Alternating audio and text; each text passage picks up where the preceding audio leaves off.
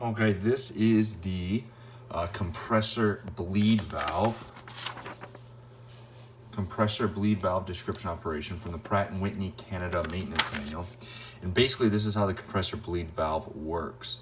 Uh, what happens is you've got P3, which is pressure stage 3 compressor discharge air that is entering into this compressor bleed valve. Now this compressor bleed valve sits in the gas generator case. It's obviously got a cover right up here.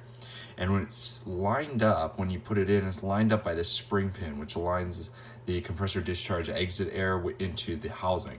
So what happens is that P3 compressor stage air uh, enters into the housing and flows into a primary orifice. That primary orifice has a convergent divergent effect um, and the plug there basically redirects uh, that air into the top of the piston. Right here is the piston.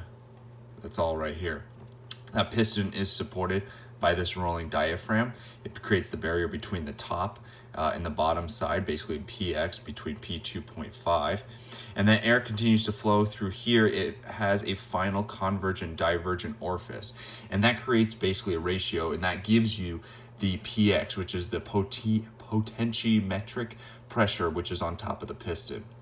And basically the way this works is you've got an intake of P2.5 interstage air. This For this uh, particular thing, it's gonna be the uh, pressure between the third compressor and the second uh, compressor, so right in between them.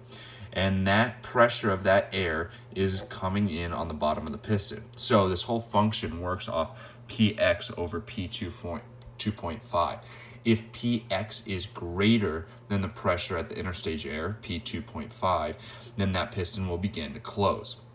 If P2.5 pressure is greater than Px, that piston begins to open. And so what happens is the primary function of this is to is to stop um, or keep the engine from having a compressor uh, surge or stall.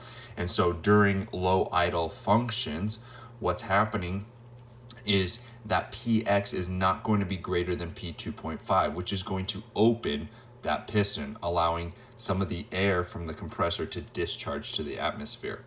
Uh, let's say you advance the throttle at full throttle, uh, that PX is going to be at its greatest and it's going to close the piston. And so if you, uh, for instance, are at cruise, PX is going to close. As it closes, it's forcing more air into the compressor because it's not being discharged to atmosphere.